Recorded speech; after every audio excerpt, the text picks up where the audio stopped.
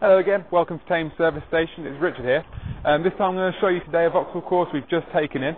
Uh, as you can see it's a really unusual colour, this is called Oriental Blue, it really does stand out.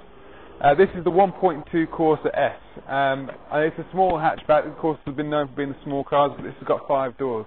So if you want a small hatchback but you still need the space in the back to carry around the kids maybe, um, this will be right up your street.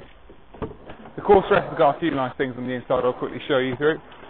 Um, really well appointed. It's got the um, electric windows at the front here um, and electric adjustable mirrors on the sides. Um, we're approaching towards summer now. It's um, got air conditioning, so hopefully, um, if it's a nice hot summer, you can put that to good use. it's done exactly 12,895 miles on a 62 plate, so uh, it's a really young car. And I'll show you the back here as well. As I said, five doors. Really quite still spacious in the back for a small hatch. I'm six foot two, and I've got plenty of space in here. Um, so yeah, really really handy there. And last but not least, Corsas come really with quite a, a well-appointed boot space.